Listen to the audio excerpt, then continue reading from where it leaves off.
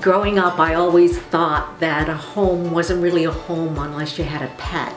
It teaches your children responsibility, it teaches them respect for animals. It's always so wonderful to return home at the end of the day and have someone come and greet you who loves you just because you're you. Unfortunately, there are many animals who don't get that same love. So the SPCA is very important for these animals to provide care to the animals and find loving homes for them.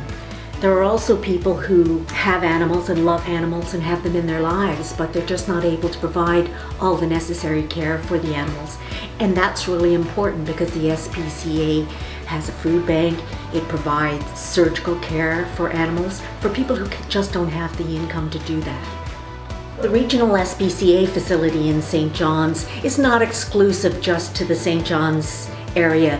It covers the communities of Torbay, Paradise, Conception Bay South, St. John's, Mount Pearl, and as far away as Labrador. So the regional SPCA is an essential service to the community. It's important to provide homes for animals and to provide for their humane care. The facility that we have is too small.